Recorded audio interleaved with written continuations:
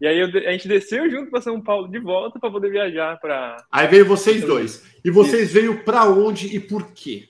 A gente veio, a gente tinha marcado, a gente fez um. Nesse período de dois, três meses, a gente fez um roteiro, um itinerário, realmente falando que a gente ia viajar tipo uma semana, dez dias. A gente tinha um script para um uhum. evento de arquitetura, se eu não me engano.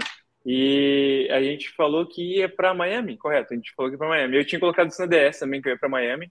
E aí eu vim com ele, a gente foi para Miami. E para entrar, e... vieram tranquilo? Entraram sim. tranquilo? Sim, sim. É, ah. Eu não consigo mensurar quanta pressão eu tinha para chegar aquele momento. E aí Eles... passou numa velocidade que eu nem vi. Porque a gente fica com um monte de ideias na cabeça, né? Muita neurose, muita neurose, desnecessária, muita neurose. Desnecessária, porque na hora desnecessária, é desnecessária. Tipo, porque você desce do, do, do, do, do avião, você entra no saguão, você fala com, com o policial, agente migratório, você passa, vai embora. Só que eu passei de um jeito que eu vi, tipo, o banheiro, vi, já vi o hall do, do, do aeroporto e eu tava, onde que é a imigração? Onde que a gente vai passar? E aí já tinha, tipo assim... Já, já tinha passado, você nem é. percebeu. Você falou com o cara ali, mas nem percebeu que era imigração.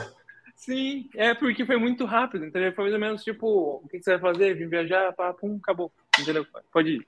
Tá, mas então vocês vieram para Miami, mas na verdade vocês iam para onde e por quê? Sim, ele ia para Chicago e eu ia para Boston. E por como, aí... vamos falar de você então. Por que Boston? Você conheceu alguém? Como que foi? Da onde veio Não, Boston? era a minha meta, era vir para Boston. Eu queria vir para Boston. E... Você conheceu? Não. Zero de pessoas? Sim. Quanto, quanto você trouxe de grana? Eu trouxe 2 mil dólares.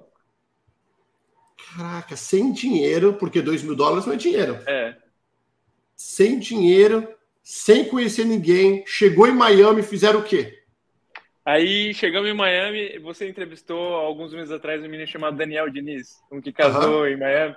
E ele foi o garoto que foi me buscar lá no aeroporto. E conversa do meu grupo, ele também fez a mesma assessoria, foi tudo aquele esquematizado. Você nunca tinha visto uhum. ele na vida.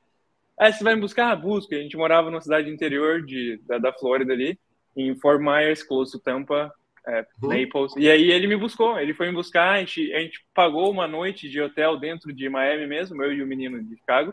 E aí o Daniel apareceu lá, me catou e me levou para a cidade lá. E aí eu tinha um quarto, ele, ele morava numa casa que tinha um quarto vago, e aí eu aluguei um quarto por dois meses lá com ele. Ah, você morou aqui na Flórida dois meses? Não, foi muito mais longo que isso. Eu morei por um ano e três meses.